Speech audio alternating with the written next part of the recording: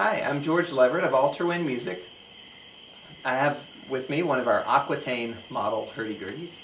I'm going to talk about some of the features included on it, although these features are common to all of our instruments.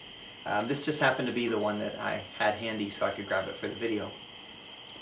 First thing I'd, I'd like to mention, if you're new to hurdy-gurdies, sound is produced by the wheel rotating against the strings to create vibration in the strings and thus create music. You turn the wheel by means of cranking the handle here. The handle on our hurdy-gurdies is removable. What that means, if you just kind of brace the wheel just a little bit, grab it by its sides and spin backwards, the handle comes right off. That way you could tuck it inside one of the pockets of its included carrying case so it doesn't get bent up while you're traveling. I'll just thread it back on here.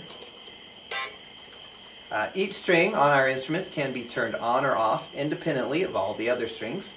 You see I have some switches which facilitate that.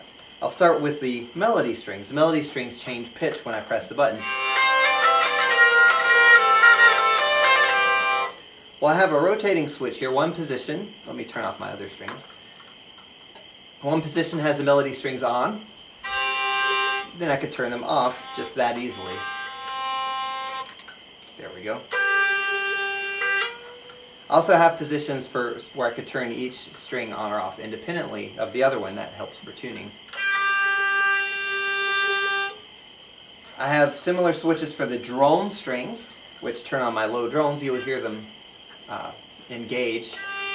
Here goes one of them. Then for the second one. Then finally the trumpet.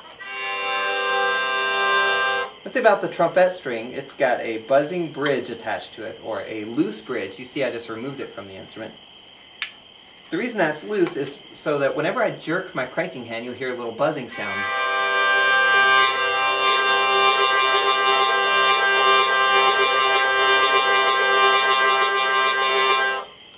You can get almost any rhythm you want just by how adept you are at flicking your wrist. Attached to the trumpet string, I have a drone capo. You'll hear it change pitch when I engage it. It's just that easy to change the key of the instrument.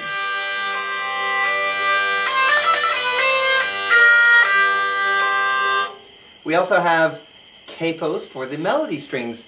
In this particular example, my melody strings are tuned to G notes, but let's say that I really need them to be A notes for the song. Well, I have a locking mechanism here.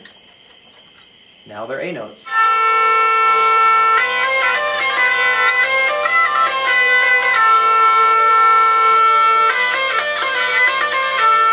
I can disengage it just as easily.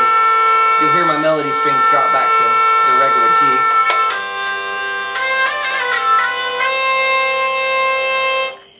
Other features include sympathetic strings, geared tuners are standard for ease of tuning, uh, metal tangents, and too many other features to name here, but in any case, hopefully this will give you a fair idea of what our instrument's about.